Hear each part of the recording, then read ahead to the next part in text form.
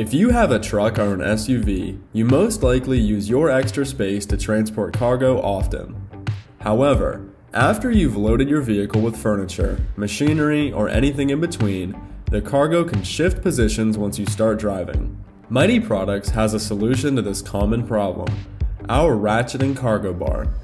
This cargo bar acts as a divider for your truck bed or SUV and allows you to section off your space and ensure cargo will stay put and not slide around while you're in transit.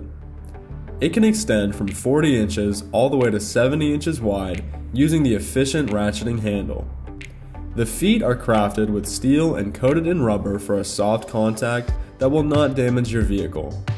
It can clamp to uneven surfaces, making this cargo bar usable across most trucks and SUVs. Here's how to use it. Flip up the ratcheting handle. Now the bar can freely extend or retract. Extend the bar until it's slightly shorter than the width of your truck bed. Now position the bar across the width of the bed. Use the ratcheting handle to slowly extend the bar until it fits snug against the wall of the bed. Once the bar is fitted into the truck bed, you're ready to load your cargo and hit the road. As you can see, installation is incredibly easy and requires absolutely no additional tools. Our ratcheting cargo bar can be easily removed when you no longer need it.